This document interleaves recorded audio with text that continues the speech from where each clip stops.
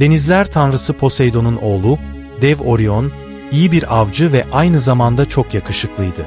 Titanlardan Theia ile Hyperion'un kızı olan gün doğuşu veya diğer adıyla şafak tanrıçası Eos, yakışıklı erkeklere meraklı bir tanrıçaydı.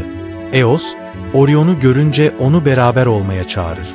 Bu davete hem çok sevinen hem de çok böbürlenen Orion, sağda solda bunu anlatıp kendini övmeye başlar.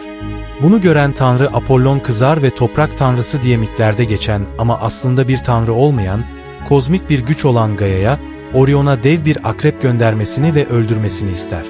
Kimi kaynaklarda ise Orion Aitolya kralı Oinopo'nun kızı Merope'yi baştan çıkarmaya kalktığı için kör edilmiş, daha sonra da bir takım yıldız haline getirilmiş. Orion ile birleşmek isteyen ve başaramayan Eos ve Artemis'in kışkırtması sonucu, Orion'u topuğundan sokup öldüren akrep de armağan olarak burç yapılmış. Orion yıldızının akrep burcundan hep uzaklaşmakta olmasının nedeni buymuş. İlk hikayede bahsedilen ise, yollanan akrepten kaçmaya çalışan Orion denize dalar. Bu sırada Orion'u gören ve onun yakışıklılığından etkilenen Artemis, oklarını akrebe yöneltir. Akrebi vurup öldürür ama, bu arada Orion'u da vurmuştur. Artemis Orion için o sırada yükselmekte olan takım yıldızına Orion, diğer tarafta kalan takım yıldızına da Akrep adını verir.